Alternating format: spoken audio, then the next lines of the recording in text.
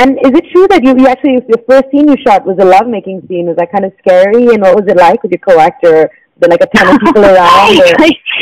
uh, yeah, well, you know, everybody is always really sensitive and, yeah. and considerate when, when it comes to these kind of scenes. Mm-hmm. And um, I think my approach personally has always been to think of it as just any other scene. I think, I think when you take away the taboo of it, it's actually as difficult or stressful as doing a very emotional scene. Like if when I have to do scenes where I have to break down, I get really tense about them or really nervous.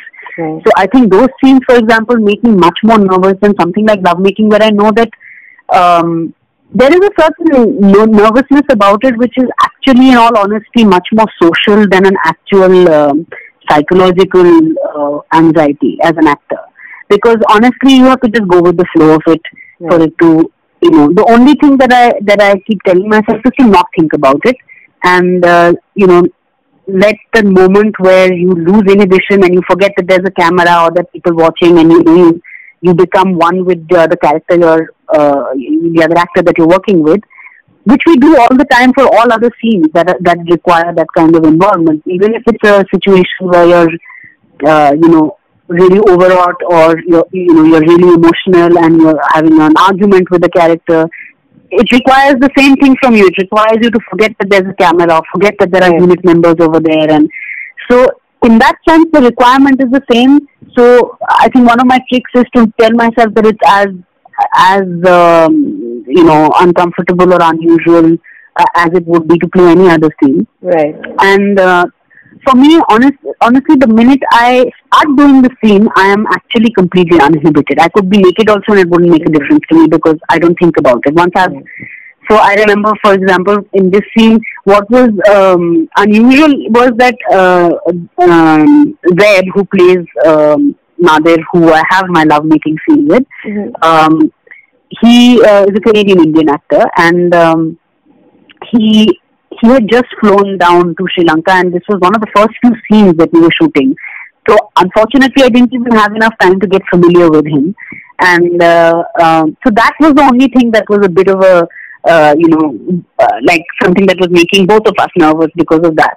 But again, what happened is we did a blocking of the scene, and uh, in the blocking, I had to um, I I did the whole thing of taking off my kurta and yeah. so I was just in a bra and I had to tell my all I told myself was that hey come on we all were you know we're comfortable wearing bikinis on the beach it's the same thing you yeah. know so and then it wasn't such a problem and you know and honestly when you um and this has happened to me before also when I've kissed people on screen uh, you're also very you're kind of even though when I say that you put yourself into it but you are aware that you're doing it for a part and mm if you ask me, I actually will never be able to tell you somebody, like, I can't tell you what it felt like because my mind was too preoccupied subconsciously on the fact that this is a performance. Performance, right. So, at the end of the scene, if you ask me, was he a good kisser, I won't be able to tell you because I actually don't have any memory of it yeah, in terms of the sensual feeling, you know? Right, of course. So, cool. We actually got a bunch of questions so, on yeah. Twitter for you as well from your Twitter fans. And Rishi Vora wanted to know, do you consider yourself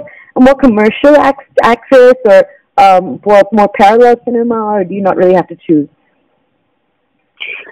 Well, um, my answer would be that I consider myself to be uh, an actor that can do everything. Mm-hmm. And but uh, what I feel the world considers or what has been projected so far has been that I am an alternative serious actor. Mm-hmm. So um, my request actually has always been uh, to try to break like my request actually who am i requesting but my my my um my uh, aim has always been to try to break out of that. And right. um sometimes yeah i do feel stuck. I feel like nobody can imagine me playing anything else. Whereas my natural instinct is to be so many different kinds of people. I mean my own personality and my own history lends me to uh, you know i've learned dance for 10 years. I've uh, been a sportsman when i was younger. Um uh, I'm very tomboyish also. I love singing. Uh, you know, we, I did the musical. Then I've um, uh, um, I, I'm I've always been considered a, a clown because of the way I make people laugh. And but none of these parts and aspects of me have unfortunately I've got a chance. I've not got a chance to show them. Right. And uh, so the depiction of me is that I am a serious person and a serious actor.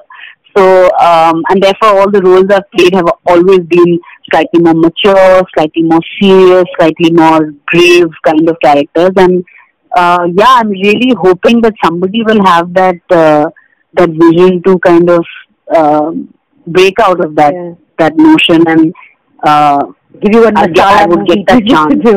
yeah, I'm saying I I mean if anybody anybody who's known me since I was a kid will know that I would you know dance to Bollywood music in front of the mirror and like even in my dance class which was a classical dance class they used to when we had parties and get-togethers they would make me dance to uh, you know, songs from Kabhi Khushi Kabhie Gham and Mar Dala, and I would do all of them the exact steps in that way, and you know, the, yeah. so I grew up on that. But somehow, the way the films that I've done, and you know, what what came to me in, in um, and what excited me were things that uh, were of one uh, in one mold, and now I'm really eager to break out of that and do something different.